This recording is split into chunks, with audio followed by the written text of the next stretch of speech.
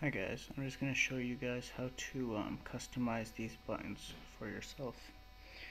Go to options, click options, control HU, uh, HUD. And all you need to do really is just drag these buttons around and you can pinch to make them bigger or smaller. As you can see. Alright, so I'm just going to put it back and accept.